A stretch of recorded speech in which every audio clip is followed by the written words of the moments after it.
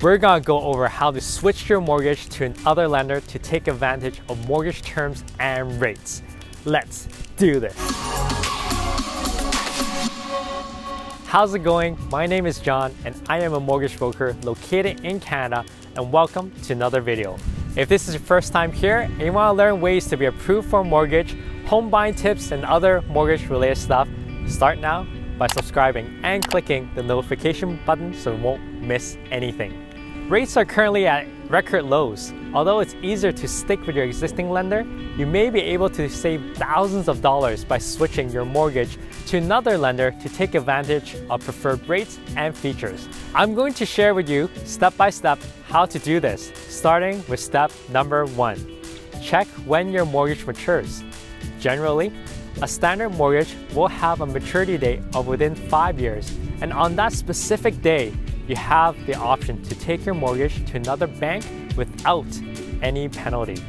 When you have less than four months until the maturity date, that's the best time to inquire on different rates and options.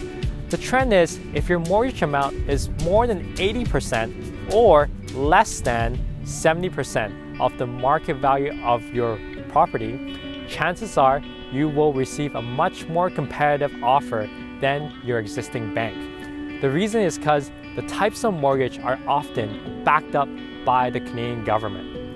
And in the eyes of other banks and lenders, your mortgage is considered low risk, therefore lower interest rate. And how about those who are paying a higher rate, but the mortgage maturity date is still in a couple of years?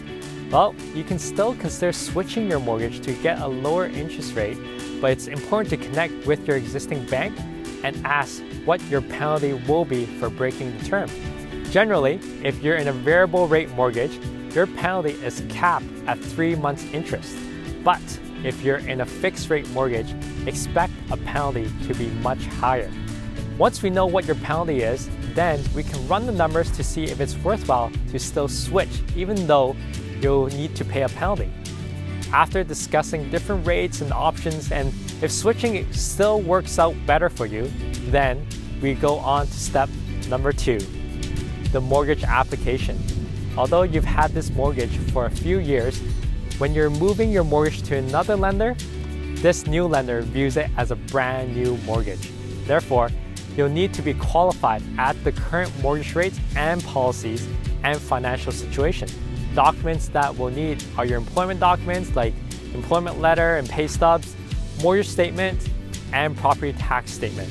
It usually takes about three to five business days for the lender to decide whether or not you're approved and what conditions are required. Once you've got the approval, then we go on to the last step, step number three, making it official. A solicitor will be required to facilitate the switch and update the title registration. Your bank will be notified to provide a payout statement and it will show the final balance owing in order to pay them out. Once the final amount is set and paperwork is signed, then your solicitor will be in charge of directing the funds from your new lender to pay out your previous mortgage. And there you go. We just went over how to switch your mortgage to another lender to take advantage of mortgage terms and rates. And please remember to subscribe to my YouTube channel to learn more. And make sure you click on the notification button so you won't miss a video. I'm John Lee, mortgage broker and CEO of Arise Mortgage. We are always achieving your approval.